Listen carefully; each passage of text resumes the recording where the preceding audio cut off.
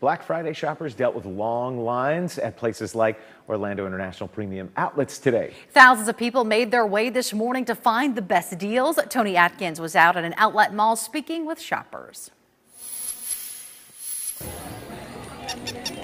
Thanksgiving is over, and now for many, it's time to shop. On Friday, the Orlando Premium Outlets was a solid go to for shoppers. It's not as big of a scale in Australia Black Friday, so I'm just really looking forward to you know being able to witness the madness of you know Black Friday in America. It's good. It's moving really fast. This is crazy though. It was almost to the street. It also was an opportunity for shoe resellers like Gerard Martinez, who we saw with dozens of Timberland boots he plans to sell. Not everybody lives in Florida, so they can't really get like the crazy outlet prices that they offer here, you know? Along with the long lines, we saw the parking lots fill up pretty quick.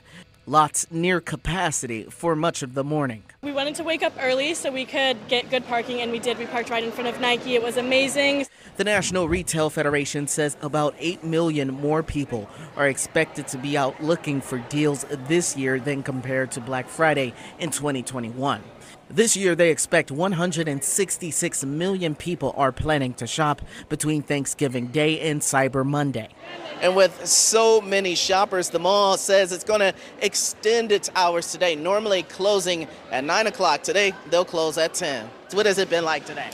Really good. Very exciting. Lots of excited shoppers. Lots of bags, lots of shopping, lots of deals. Marketing Director Lorena Garcia says with the traffic, take your time. But definitely give yourself a little bit of extra time to find a spot when you come out today.